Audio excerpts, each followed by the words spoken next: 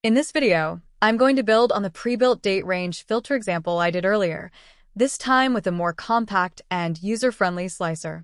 We're starting with a standard column chart showing monthly property volumes, and above that, a slicer built from a simple table that includes options like this month, last six months, and last 12 months.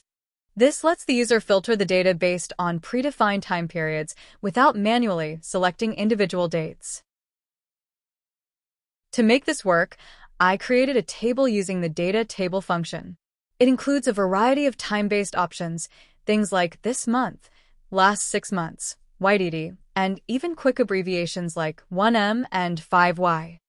I also added columns for description length, which lets me group full and short versions and order so I can control the slicer layout. Then I created a DAX measure called Date Range Filter Check, which uses switch logic to convert the selected label into a date range. If the row from the date table falls within that calculated range, the measure returns 1, otherwise 0. I use this measure to filter the visual, so only the months that match the selection are shown. Now let's take this further. I want to display a shorter version of the slicer directly over the chart to save space and improve the layout. To do that, I updated the date range filter table with additional fields. A shortened version of each option, like 1M for one month or YTD for year to date. A description length column to distinguish between long and short versions. And a custom order column to control how the slicer displays.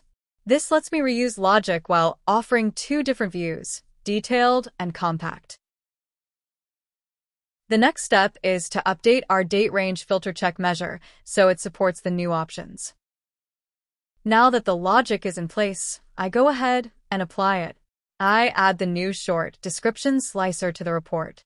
I use the description length column to filter it down to only the compact options.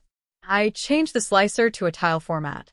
Then reposition it to the top right of the chart, making it feel more like part of the visual. To balance the layout, I move the title to the left and use a subtitle for additional context.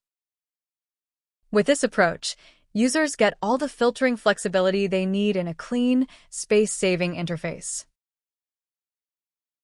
That's it. A compact, user-friendly way to apply dynamic date filters in Power BI. This layout not only improves usability, but also creates a more polished look, perfect for dashboards with limited space or mobile-first layouts. Feel free to reach out with any questions.